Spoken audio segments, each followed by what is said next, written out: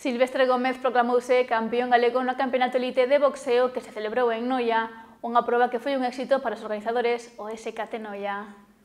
O Agustín Mourís vestiuse de gala para coller o Campeonato Galego de Boxeo Elite masculino e feminino, unha cita na que participaron os mellores boxeadores do panorama galego, O SKT Club Local organizou esta proba na que combateron 40 persoas de todas as categorías, dende os 57 kilos ata os 92, vivironse 10 pelexas de gran nivel por día, xa que a competición comezou o sábado e finalizou onte. Un dos deportistas máis destacados foi o nollés Silvestre Gómez, o boxeador local que combatía en menos de 92 kilos, fixose co título de campeón galego logo de superar os seus rivais e de impoñerse nunha final moi igualada. Unha vitoria moi traballada e de mérito que lle abre as portas para participar no Campeonato de España de Boxeo que se celebrará en xullo en León, mentres que David Gorras foi su campeón na súa categoría. O boxeo volveu a Noia, onde está a mosar un gran crecemento de afeccionados que encheron as gradas de Agustín Maurís para ver en primeira persoa o bo facer dos participantes. Cita que contou tamén coa colaboración do Concello de Noia, da Federación Galega de Boxeo,